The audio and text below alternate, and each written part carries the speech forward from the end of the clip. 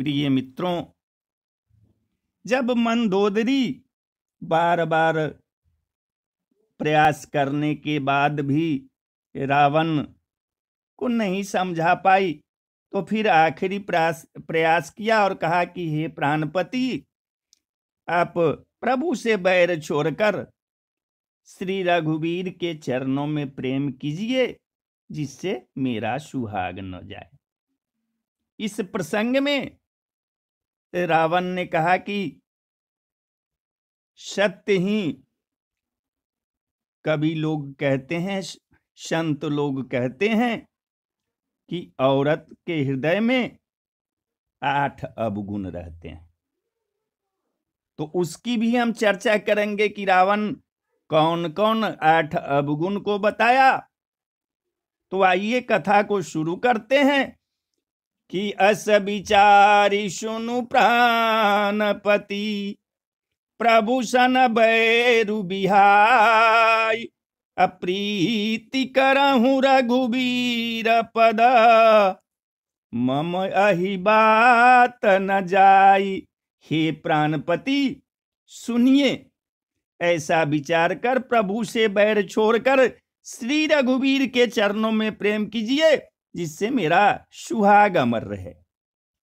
तो बिहसा नारी, वचन सुनिकाना जय सिया राम, जय जय हनुमान। अहो मोह, महिमा बलवाना, जय सिया राम, जय जय हनुमान।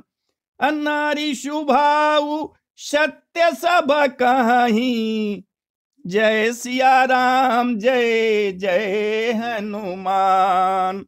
अब गुण आठ सदा उर रही।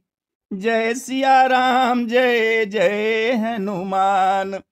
पत्नी के वचन कानों से सुनकर रावण खूब ज़ोर ज़ोर से हंसा और बोला, अहो मोह माने अज्ञान की महिमा बड़ी बलवान है। स्त्री का स्वभाव सब सत्य ही कहते हैं कि उसके हृदय में आठ अवगुण सदा रहते हैं। तो क्या क्या आठ अवगुण है? तो साहस, अनिर्त, चपलता, माया, जय सिया राम, जय जय हनुमान, भय, अविवेक असौचय दाया जय सिया राम जय जय हनुमान। हरिपुकर रूप सकल ते गावा। जय सिया राम जय जय हनुमान। अति विशाल भय मोहि सुनाबा जय सिया राम जय जय हनुमान। रावण ने बताया था कि स्त्रियों के आठ अवगुण के बारे में। मंदोदरी रावण को समझाती है और उसे राम से युद्ध करने में रोकती है। रावण मंदोदरी को समझाते हुए कहता है कि तुम बहुत भोली हो। तुम स्त्री स्वभाव बस डर कर ऐसा बोल रही हो। साहस, स्त्रियों में साहस पुरुषों से कई गुना ज़्यादा होता है। इसको हम दुस्साहस भी कह सकते हैं। कई बार स्त्रियाँ अपने क्षमता के विपरीत दुस्साहस कर बैठती है, जिससे उन्हें बाद में पछताना पड़ता है। दूसरा, अनिर्त। अनिर्त अर्थात झूठ बोलना। वैसे तो अपने दैनिक व्यवहार में स्त्री पुरुष दोनों झूठ बोलते हैं, लेकिन झूठ बोलने की प्रवृत्ति स्त्रियों में पुरुषों से कई गुना पाई जाती है, जिसके कारण स्त्रियों के बात पर लोग कम विश्वास करते हैं। चपलता। स्त्रियाँ स्वभाव से ही चंचल होती है, जिसके कारण वो एक बात पर ज़्यादा देर नहीं टिक सकती। उनका किसी एक बात पर दृढ़ निर्णय रख पाना इस चंचल स्वभाव के कारण कारण असंभव प्रतीत होता है। माया। स्त्रियों को स्वभाव माया भी होता है। वो अपना कार्य सिद्ध करने के लिए कई तरह के मायावी रूप धरती है। अपना काम करवाने के लिए और उठती है, प्रलोभन देती है। रावण मंदोदरी से कहता है कि तुम इसी तरह मुझे राम का भय दिखाकर सीता को वापस करने की बात कर रही हो और भय। रावण कहता है कि स्त्रियाँ स्वभाव से डरपोक होती है। वो जल्दी भयभीत हो जाती है, ज़्यादा साहसी होने के साथ साथ उनके अंदर भय भी बहुत पाया जाता है। मंदोदरी, तुम एक बंदर के द्वारा लंका में उछल कूद मचा देने से भयभीत होकर राम की संधि की बात कर रही हो? अविवेक, रावण के कहे अनुसार स्त्रियाँ अपने अविवेक के कारण कुछ दुस्साहस भरे कार्य कर जाती है, जिसके बाद उन्हें पछताना पड़ता है। असौच। स्त्रियों में प्राकृतिक रूप से अपवित्रता ज़्यादा होती है। स्त्रियाँ रजस्वला के कारण अपवित्र बताई गई है और बहुत सी स्त्रियों की रहने सहने के ढंग भी इनके फुहरता को प्रमाणित करते हैं और अदाया। स्त्री को निर्दयी बताया गया है। रावण के अनुसार, स्त्री में अपने परिवारजनों को छोड़कर दूसरे जीवन के प्रति दया का अभाव पाया जाता है। रावण महाज्ञानी था। राक्षस जाति होने के बावजूद उसे ज्ञान और विवेक की कमी नहीं थी। अपने राक्षस स्वभाव बस उसने राम से द्वेष किया, लेकिन अपने परिवार और कुटुंब के उद्धार के लिए उसने सदैव नीति और बुद्धिमानी से काम लिया। रावण जानता था कि विभीषण और रावण का उद्धार राम भक्ति से हो सकता है, लेकिन समस्त समस्त राक्षस जाति स्वभाव बस राम विमुख हैं। इनका उद्धार राम के हाथों से मरने से ही होगा, इसलिए भक्त विभीषण को राम के शरण में जाने दिया और खुद राम से बैर रखा।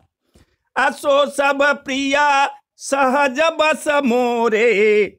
जय सिया राम जय जय हनुमान। समुझी परा प्रसाद अब तोरे। जय सिया राम जय जय हनुमान। अजान्यू प्रिया, तोरी चतुराई। जय सिया राम जय जय हनुमान। यही विधि कहूँ, मोरी प्रभुताई जय सिया राम, जय जय हनुमान। हे प्रिय, वह सब, यह चराचर विश्व तो स्वभाव से ही मेरे बस में। तेरी कृपा से मुझे अब समझ पड़ा, हे प्रिय। तेरी चतुराई में जान गया, तू इस प्रकार मेरी प्रभुता का बखान कर रही है। तो बत कही गूढ़ मृगलोचनी जय सिया राम जय जय हनुमान। असमुझत सुखद, सुनत भय मोचनी, जय सिया राम जय जय हनुमान। मंदोदरी मन महुआ सठायऊ जय सिया राम जय जय हनुमान। अपियही काल बस मति भ्रम भयऊ। जय सिया राम जय जय हनुमान। हे मृगनैनी तेरी बातें बड़ी गूढ़ रहस्य भरी है, समझने पर सुख देने वाली है और सुनने से भय छुड़ाने वाली है।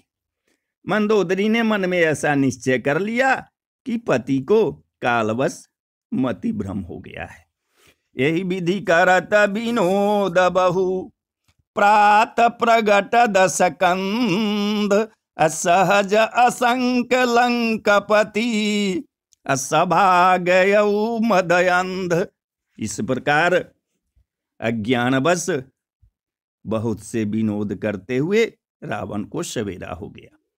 तब स्वभाव से ही निडर और घमंड में अंधा लंकापति सभा में गया। अफूलई फरही न बेत फूलई फरई न बेत, जदपि सुधा बरसही जलदा।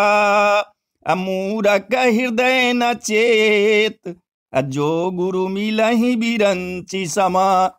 यद्यपि बादल अमृत सा जल बरसाते हैं तो भी बेत फूलता फलता नहीं। इसी प्रकार चाहे ब्रह्मा के समान भी ज्ञानी गुरु मिले तो भी मूर्ख के हृदय में ज्ञान नहीं होता तो बोलिए, जय सिया राम जय सिया राम जय जय हनुमान। जय सिया राम जय जय हनुमान। जय सिया राम जय जय हनुमान। जय सिया राम जय जय हनुमान। संकट कटे मिटे सब पीरा। जय सिया राम, जय जय हनुमान, जो सुमिरे हनुमत बलबीरा। जय सिया राम, जय जय हनुमान, जय जय जय हनुमान गुसाई। जय सिया राम, जय जय हनुमान, करहु कृपा। गुरुदेव की नाई। जय सिया राम, जय जय हनुमान, करहु कृपा, गुरुदेव की नाई। जय सिया राम, जय जय हनुमान, करहु कृपा, गुरुदेव की नाई।